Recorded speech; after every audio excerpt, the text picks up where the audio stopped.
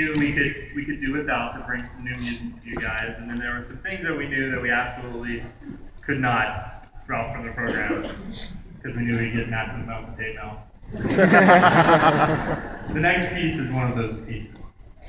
Uh, it also features a lot of choir. And uh, speaking of the choir, I'd like to invite out Heather Buchanan, the choir director for Montclair State University.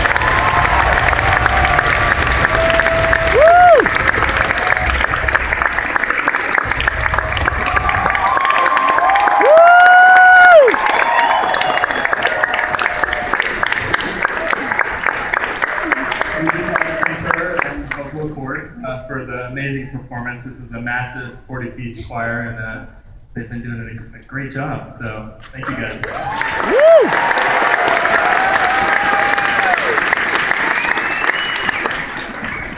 Without further ado, uh, let's put on our happy masks and get some Majora's Mask. Yeah! Woo!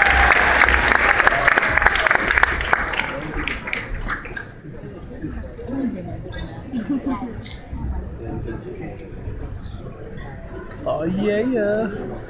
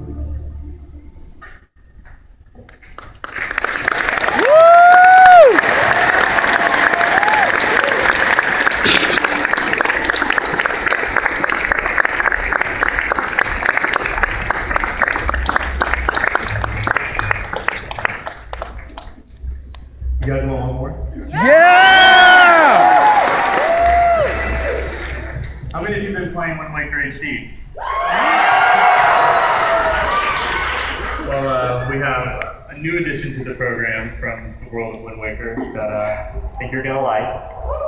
Uh, let's see, I'll give you a couple hints. Let's see if you can guess. Um, these characters were not. This this race was not in the game, but the the direct des- descendants were the Rito. Zora.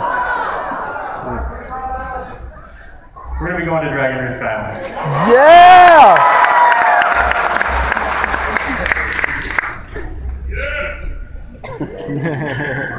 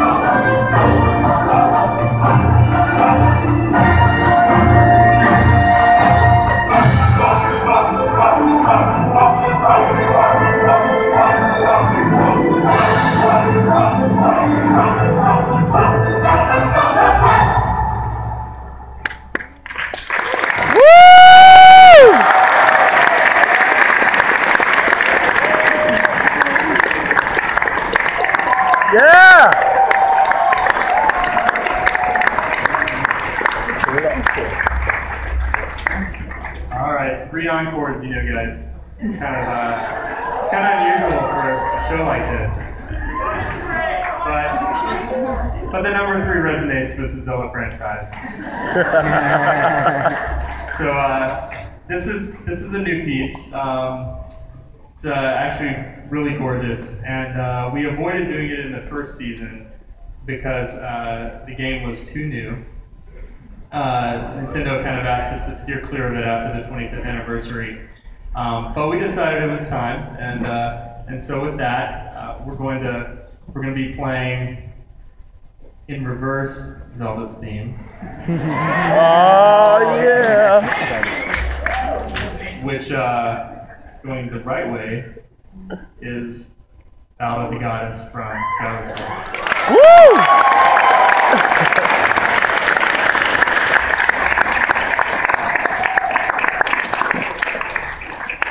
Uh, I want to thank our, uh, our our friends and family from Nintendo, Nintendo World, for coming out. Have you guys here?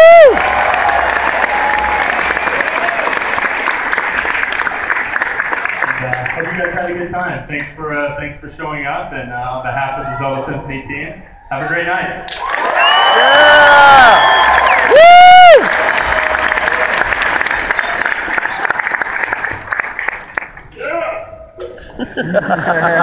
Yeah!